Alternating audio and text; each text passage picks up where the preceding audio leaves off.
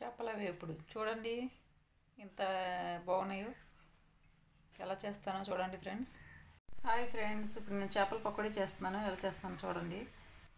ఇక చేప ముక్కలు శుభ్రంగా కడిగి క్లీన్ చేసి పెట్టుకున్నాను ఇక్కడ చూడండి. చేప ముక్కలు ఇక రుచికి సరిపడే ఉప్పు సాల్టు. రుచికి సరిపడ ఉప్పు వేసాం కదా ఉప్పు వేసిన తర్వాత ఇది కొంచెం పసుపు చిటికడ పసుపు. కారం తగినంత. అల్లం వెల్లుల్లి పేస్ట్ తగినంత. కొత్తిమీర కొత్తిమీర కొంచెం శనగపిండి కొంచెం ఒక టూ స్పూన్ శనగపిండి. మసాలా పొడి చూడండి. కొంచెం మసాలా పొడి. కోడిగుడ్డు తెల్లసొన వేద్దాం కొంచెం.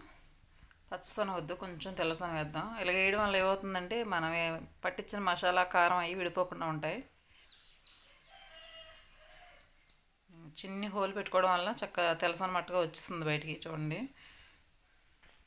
ఇవి బాగా మిక్స్ చేసుకుందాం ఇప్పుడు. చక్క ఉప్పు కారం పట్టేట్లాగా బాగా మిక్స్ చేసేయండి వీటిని. ఫ్రెండ్స్ ఇవి బాగా మిక్స్ చేసుకున్నాను నేను చూసారా? చక్క కారం ఉప్పు పట్టేలాగా ఇలా పట్టించుకొని పెట్టి ఒక పక్కన ఉంచేద్దాం. మీకు కలర్ కావాల్సి ఉంటే కొంచెం ఫుడ్ కలర్ కూడా వేసుకోవచ్చు కానీ నేను ఫుడ్ కలర్ వేయలేదు.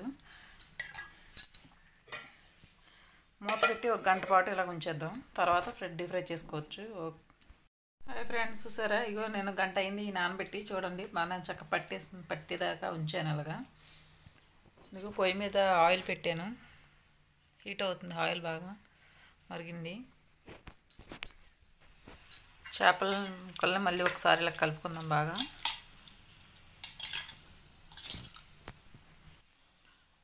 ఇక ఆయిల్ వేసి బాగా ఫ్రై చేసుకుందాం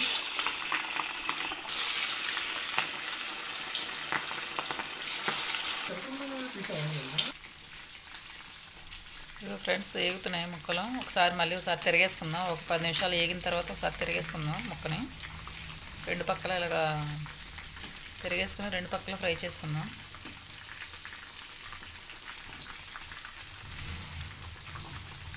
ఫ్రెండ్స్ నేను కలర్ వేయలేదు. కలర్ వేసుకుంటే ముక్కలు బాగుంటాయి కానీ కలర్ వేయలేదు. మీకు ఇష్టమైతే కలర్ వేసుకోండి. ఫ్రెండ్స్ ఇవి చేప ముక్కలు వేగిపోయినాయి తీసేసుకుందాం ఇంకా. ఇగో చూడండి. వేగుతుంటేనే మంచి స్మెల్ వస్తున్నాయి చక్కగానే.